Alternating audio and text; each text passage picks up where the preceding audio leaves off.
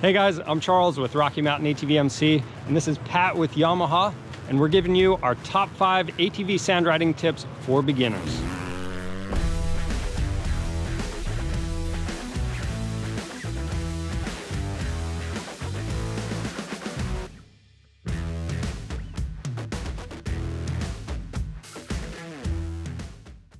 Tip number one is all about having the right goggles. So you wanna have some sand goggles. There's a couple reasons for this. Number one, you wanna have some goggles with some thicker foam. That's gonna help keep some of the sand out.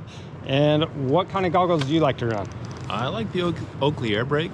Uh, the prism lens really helps bring out the contrast in the dunes and the dunes can be tough to read sometimes especially in the bright sun and those lenses work really well for me as far as seeing and reading the dunes and seeing the contrast in the sand yeah, so having the right lens and also any of the goggles that say they're specifically for sand riding, they're gonna have that thicker foam. I personally use the 100% and they work great. The second tip is all about avoiding hazards. You wanna stay safe while you're out at the dunes. What can you tell us about that, Pat? Well, probably number one is making sure you can see where you're going and reading the terrain, reading the sand dunes. And the dunes bring out different things that maybe you don't experience in some of the other areas. And uh, we talked about uh, as you, there's usually a gradual side and a steep side to a sand dune. So if it looks really gradual and it looks like it might drop off, it's probably steep on the other side. And then on the, on the inverse side of that, if it's steep and it's probably gradual on the other side. But when you're attacking that steeper side of the dune, you want to make sure you carry a lot of speed at the bottom of the dune that way, as you get towards the top, you have choices. You can turn out at the top, look over the edge, and make sure that everything's safe on the other side. There's no witches eyes on the other side, or the slip faces aren't too steep. Um, or you can see another rider or someone driving a side by side coming the other side. With flags are obviously really important to help with that visibility as well. So, uh, really carrying a lot of speed at the bottom of dunes really helps uh, traverse the dunes and do it in a safe way. Yeah, I like that. And I guess for me, when we were out there, we had a rider that was coming up the dune and luckily turned at the top. I was able to see him and uh, we didn't crash into each other, so that was good. Tip number three is to always use a spotter while you're jumping at the dunes. Now jumping can be one of the funnest things you do while you're out here. You can do big jumps, small jumps, whatever you prefer. You can even be creative with it, but you never know when someone else is coming. So that's why you wanna use a spotter and avoid an accident. Tip number four is all about adjustments. So there's a few different things you're gonna have to do when you're riding out in the sand. And Pat, can you take us through that? Sure, number one is being comfortable on your machine. So our 450, for example, our YFZ 450 has multiple adjustments for the handlebars um, in different positioning, different height. Uh, but of course, make sure your levers are in a good position.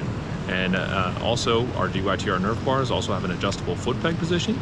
So again, depending on your body size or your preference, make sure you're comfortable on your machine first. And there's a lot of adjustments built into the stock vehicles that really enhance that.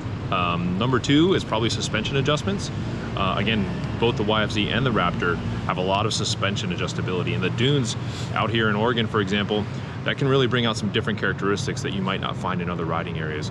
So play with your damping adjustments, um, turn them in, turn them out, and really try to find what you're looking for. And all those things were included in the price of your vehicle, so it really pays uh, to take advantage of them. I like it. Now, one more thing. So with the chain and sprockets, you gotta stay up on that adjustment, but the parking brake as well. Like what causes that to go out of adjustment? Yeah, the sand is really tough on chain and sprockets and the parking brake. So you really want to pay attention. You want to make sure those are working really well, uh, but the sand is really rough on those. So you're going to want to probably maintain them a little bit more often than you would in a hard dirt condition. So pay attention to your parking brake adjustment and make sure your chain and sprockets are in good condition. Stay up on your adjustments.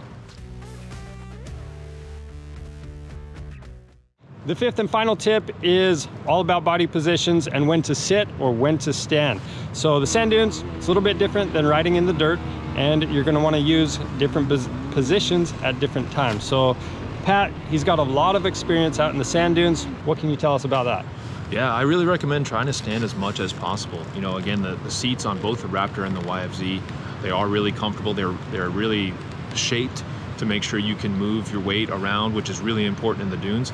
But keeping uh, in a standing position really helps you move quickly and get your body weight to the left, to the right, forward, backwards, because the dunes change very quickly, obviously, and there's a lot of up and down. So keeping your weight high and using your legs to uh, absorb some of those impacts, those big G outs that you get in the dunes, really make a big difference. So recommend standing as much as possible. Then you can throw your weight back. If you're losing traction, throw your weight back, get traction in the rear tires and get up that dune. So what about like side hills, that kind of thing? A lot of people struggle with that kind of stuff. What would you recommend there? That's definitely one of the more challenging components to riding in the dunes and standing up again. You can actually still keep your butt off the seat and get to the higher side of the dune. You always want to keep your weight to the uphill side, whether that's a side hill or a hill uh, straight up and down. So again, standing, keeping your weight off the seat can actually help. But of course, if you really need to, put your weight on the seat and get traction in the rear tires as well. But side hilling is really an important factor in when you're in the dunes. It is. And the last and final tip, if you don't already know, when you're in a corner, you want to sit down, keep your weight to the inside, and keep the weight low. That's your top five ATV sand riding tips for beginners. Now, if you like this video, give us a thumbs up. Thanks, Pat, for all your expertise. I'm Charles with Rocky Mountain ATV MC. Thanks for watching.